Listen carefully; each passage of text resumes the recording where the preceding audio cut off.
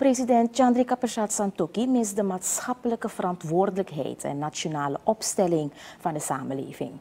Het staatshoofd sprak vanmiddag tijdens een persconferentie waarop hij en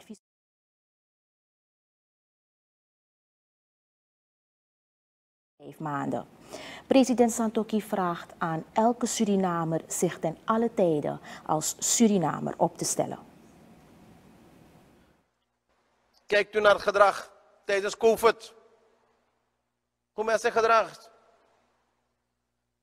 Broeders en zusters, de beste manier om COVID te beschermen is namelijk door ons gedrag aan te passen. Je de, houden aan de COVID-voorschriften. Dat geldt voor de Surinamer, maar dat geldt voor het bedrijfsleven. Dat geldt voor ons sociaal leven. Dat geldt voor alle instanties, ook die overheidsinstanties. Het jaar 2021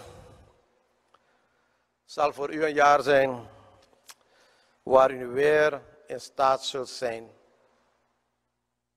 om uzelf te ontwikkelen. We weten dat er nog bergen en nog enorm veel werk verzet zal moeten worden en dat er nog moeilijke momenten zullen komen. Het staatshoofd zegt klachten te krijgen vanuit de ondernemers. Wie niet valt onder essentiële zaken en diensten moet dicht zijn.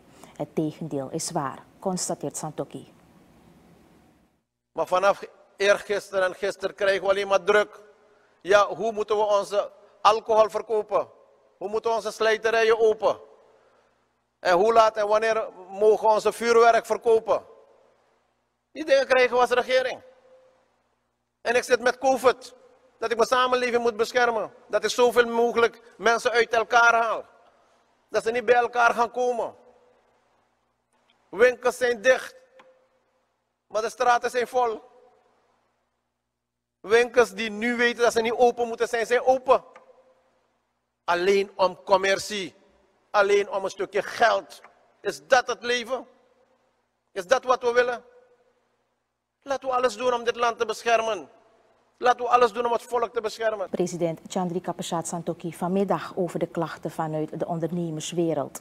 Tijdens de persconferentie hebben Santokhi en Brunswijk een overzicht gegeven van hun regering over de periode juli tot en met december 2020.